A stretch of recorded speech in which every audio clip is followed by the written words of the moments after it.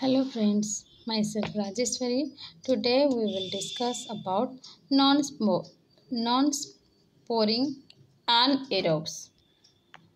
In this, we will study about introduction, anaerobic cocci, Peptococcus, Peptostreptococcus, Veillonella, anaerobic gram-positive bacilli. Under this, we will study about Urobacterium, Lactobacillus, Bifidobacterium, Propionibacterium, Actinomyces, mob- mobile Uncus, Mobiluncus. Then we'll study about anaerobic gram-negative bacilli. Under this, we'll study about bacteroids, Fusobacterium, lepto, leptotrichia, anaerobic infections. Then we'll study laboratory diagnosis. Under laboratory diagnosis, we'll study about specimens, direct microscopy, culture, and un- we'll study about other anaerobic techniques. And then finally, we'll study about the treatment. Now, let's begin with introduction. Non-sporing anaerobes have been recognized as an important cause of human and animal infections. Many of these bacteria form commensal flora of man and animals in mouth or for, uh, oropharynx, gastrointestinal tract, and genital tracts. In the gut, the anaerobic bacteria outnumber the aerobes by a ratio of 1000 is to, is to 1. Even in such seemingly anaerobic uh, situations as the mouth and the skin, anaerobic bacteria are more frequent than aerobes. The number of anaerobes have been estimated to be 10 to the power 4 to 10 to the power 5 per ml in the small intestine, 10 to the power 8 per ml in saliva, and 10 to the power 11 per gm per g gram in the colony, colon. Some of these anaerobic bacteria act as opportunistic pathogens when body resistance is lowered. These non-sporing anaerobes are particularly likely to set off infections where there is damaged and necrotic tissue. Anaerobic infections of the head, neck, respiratory tract are often associated with commensals in the mouth, while infection in the abdominal and pelvic regions are more commonly associated with those of gut. On the basis of morphology and staining characters, they have been classified. Sub, uh, let's study about anaerobic cocci. The anaerobic cocci occur as normal flora of skin, mouth, intestine and vagina. Now let's know about Peptococcus. Peptococci are gram-positive and non-sporing anaerobic cocci that do not form chains. There are small spherical measuring that is 0.5 to 1 micrometer in size arrangements arranged singly or in pairs in in in or in clumps. They are coagulase negative. They may cause pyogenic infections of wounds, pure, puerperal sepsis, and urinary tract infection.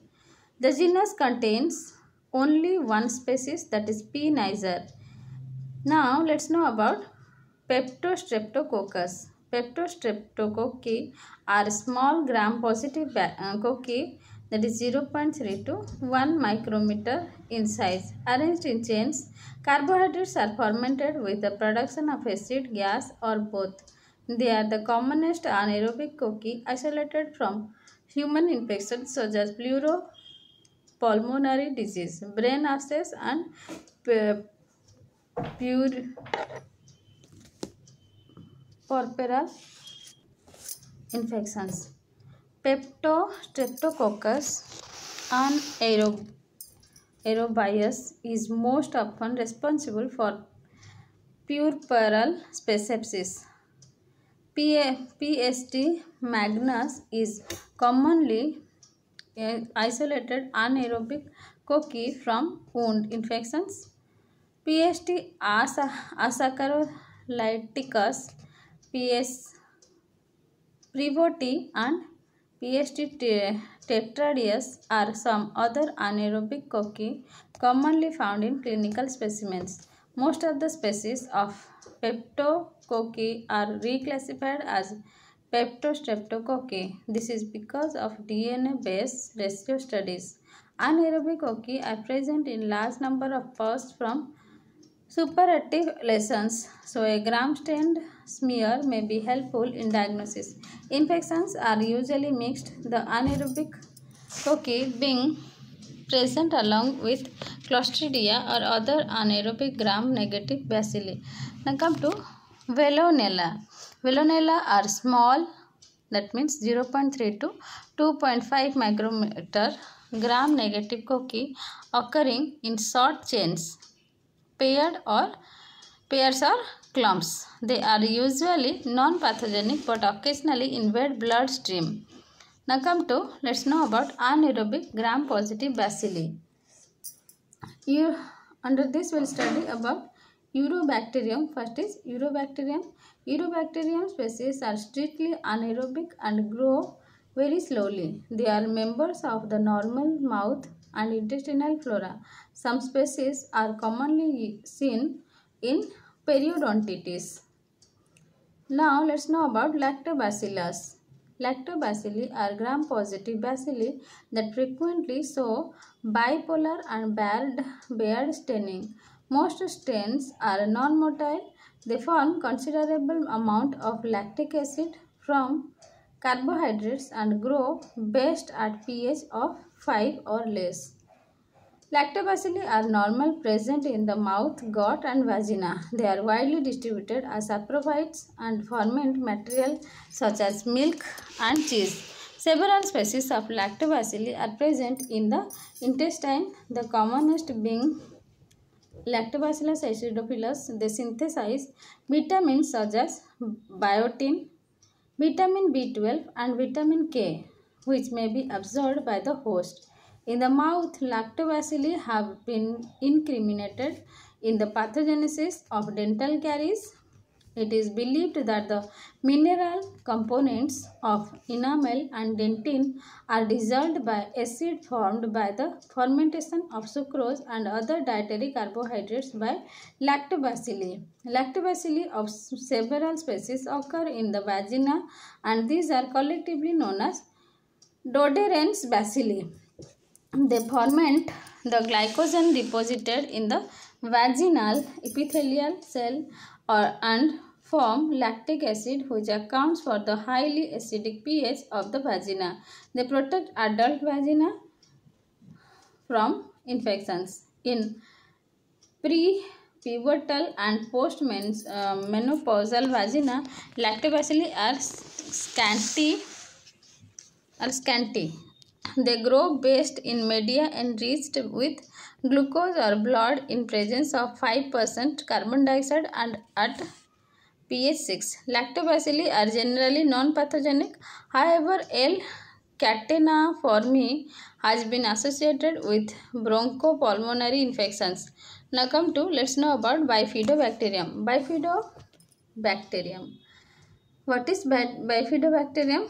Bifidobacteria are gram-positive non-sporing pleomorphic non-motile bacilli showing true and false branching. Thus name is derived from frequent bifidi Y-shaped cells. They occur as normal flora in the mouth and gastrointestinal tract and are occasionally pathogenic. Now let's know about Propionibacterium. Propionibacteria are gram-positive, pleomorphic, non-motile bacilli. They are related to Corynebacteria and are usually labeled as anaerobic diphtheroids. The commonest species isolated in the clinical laboratory is P. acnes. This is commensal found abundantly on the normal skin. It is regularly found in the acne and was thought to be its causative agent. It has also been isolated from abscesses. It is in some cases of infective endocarditis and in infections associated with implanted pro prosthesis. Pathogenic role of propionibacteria is not definite. Now let's know about actinomyces. Now uh, let's know about Mobiluncus. Mobiluncus species are motile called anaerobic bacilli. They may appear as gram variable. Mm, they have been isolated from the vagina in bacterial vaginosis along with Gardnerella vaginalis. Mobiluncus is described like this. Now let's know about anaerobic gram-negative bacilli. They are grouped in the family Bacteroideaceae and classified into some genera. Let's know about this genera. First is bacteroids, bacilli with rounded ends. First point is fragilis group. Under this we will study B fragilis, B vulgatus, B B means bacillus Bacillus distasonis, Bacillus ovatus, Bacillus theta iota micro, micron, sa, sacrolytic. Then is second point is melanogenicus group. Under this we will study. Under this let's study about B melanogenicus, Bacillus oralis, moderately saccharolytic and third third is asacrolytic group under this we'll study about uh, bacillus asacrolyticus and bacillus gingivalis the new genus names for meling melano melaninogenous group is Prevotella and for asacrolytic group is Porphyromonas. Now let's know about Fusobacterium. Bacilli with pointed ends. Species are F. necrophorum, F. nucleatum and F. necrogens. Leptotrichia, large bacilli, L. Bac uh, L. buccalis is the only species. Now let's know about bacteroids. Bacteroids occur as commensals in the mouth, gastrointestinal and female geni uh, genital tracts. Normal stools contain 10 to the power 11 organs, organisms per gram. The most common are B. fragilis group isolated from the large intestine. P. Melan mm, melanogenica is isolated particularly from the oropharynx, gut and vagina. These are gram-negative strict strict anaerobes, non-sporing, non-motile bacilli and are very pleomorphic.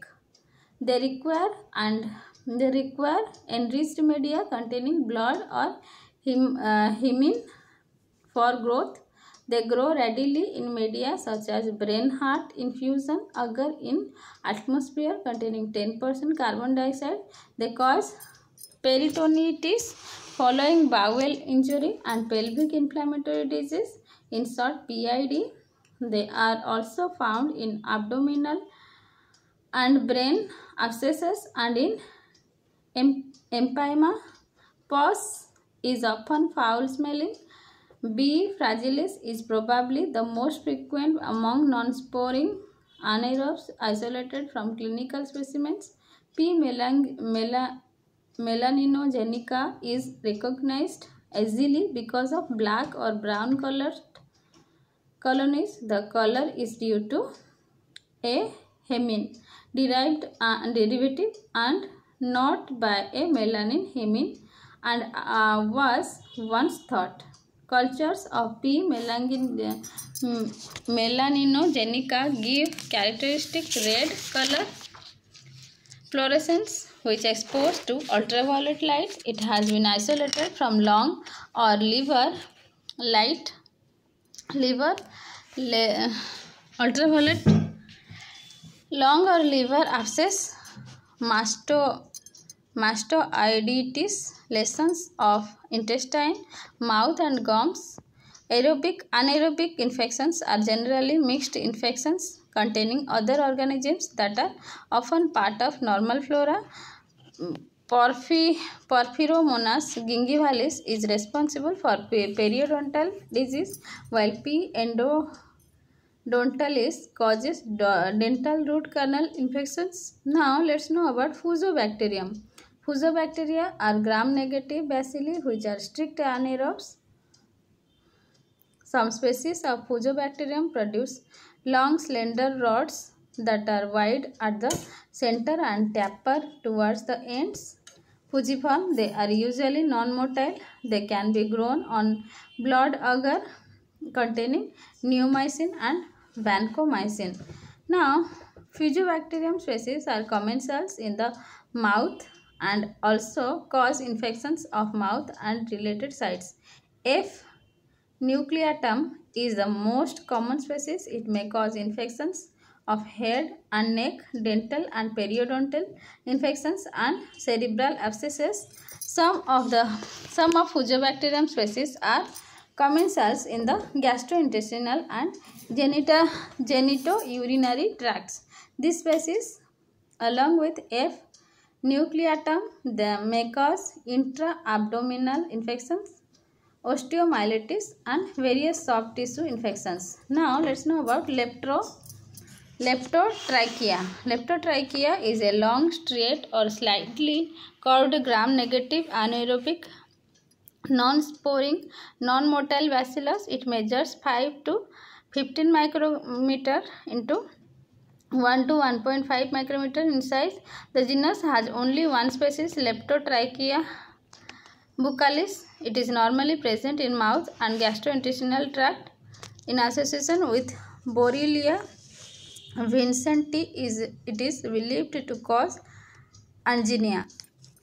Now let's know about anaerobic infections. Anaerobic infections are usually endogenous and are caused by normal flora of the body surface. Anaerobic bacteria are normally present on the skin, mouth, nasopharynx, intestines and vagina. They produce disease when the host resistance is lowered. Trauma, tissue necrosis, diabetes, malnutrition, Malignancy or prolonged treatment with antibiotics may act as predisposing factors. Anaerobic infections are usually polymicrobial. More than one anaerobe is involved along with aerobic organisms. Infections are usually localized but generally dis dissemination may occur by bacteremia pus produced by anaerobes is uh, usually putrid with a nauseating odor. Cellulitis is a common feature of anaerobic wound infections. Toxemia and fever are not marked bacteria responsible for common and anaerobic infections. We'll study now. First is laboratory diagnosis. Let's know about the laboratory diagnosis.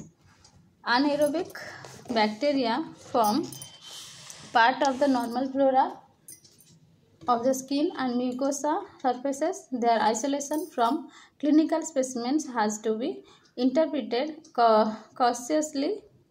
The mere presence of an anaerobe does not prove it as a causative agent. Now let's know about specimens. Specimens are to be collected in such a manner to avoid normal resident flora. For example, material collected by aspiration in cause in case of lung abscess is acceptable but not in sputum as these anaerobic bacteria die on exposure to oxygen, care has to be taken to minimize contact of specimen with air during collection transport, transport and handling of specimens. A satisfactory method of collection is to aspirate the specimen into an all uh, airtight syringe. After collection, the needle is locked, plunged plunged into a sterile rubber cork and sent it immediately to the laboratory. Pus and other fluids may be collected in small bottles with airtight caps and transported immediately. Specimens should fill the bottles completely without leaving the airspace. Swabs are unsatisfactory specimens. Swabs are unsatisfactory specimens, but where they are to be used, they should be sent in Stuart's transport medium. Other clinical samples unsuitable for anaerobic culture include sputum, urine feces and secretions obtained by nasotracheal suction. Specimens should be inspected for characteristics that strongly indicate the presence of anaerobes such as foul odor, sulfur granules associated with actinomycetes species, Propionibacterium species or Eubacterium. Other clues suggestive of anaerobic infection include first point failure to isolate organisms from pus, sterile pus. Second is deep abscesses. Third is pus which shows red fluorescence under UV light. Failure to respond to conventional antimicrobial treatment. Now let's know about direct microscopy. Examination of a gram stained smear is very useful. Pus in anaerobic infection shows a variety of organisms and numerous pus cells examination of specimen under ultraviolet light may show the bright red fluorescent in cases of P. melanogenica. Now let's know about culture. Freshly prepared blood agar with neomycin yeast extract, thiamine and vitamin K is a suitable culture medium. Culture plates are incubated at 37 degrees centigrade in an aerobic jar with 10% carbon dioxide. Anaerob uh, Aerobiosis can also be maintained by gas pack system. Plates are examined after 24 to 48 hours. Parallel aerobic cultures should always be set up to ensure the proper anaerobiosis inside the anaerobic jar. To verify the anaerobic condition in the jar, reduce, reduced methylene blue indicator is generally used for this purpose. This indicator remains colorless anaerobically but turns blue to exposure, exposure to oxygen. Other anaerobic media such as cooked meat broth, in short CMB, and thioglycolate broth may also be used for inoculating the specimens. specimens should also be put up for growth of anaerobic bacteria as in most anaerobic infections aerobic bacteria are also involved. Now let's know about treatment. Besides antibiotic therapy most anaerobic infections also require surgical intervention. Penicillin is effective against most anaerobes except B. fragilis. Tetracycline and chloramphenicol are also used. Clindamycin is effective but is not commonly used because it is prone to cause pseudomem pseudomembranous colitis. Metro, metronidazole is the drug of choice. It is also useful as a prophylactic measure in large bowel surgery. Finally finished any questions regarding this you can ask me in the comment box and subscribe my channel to know more updates. Thank you.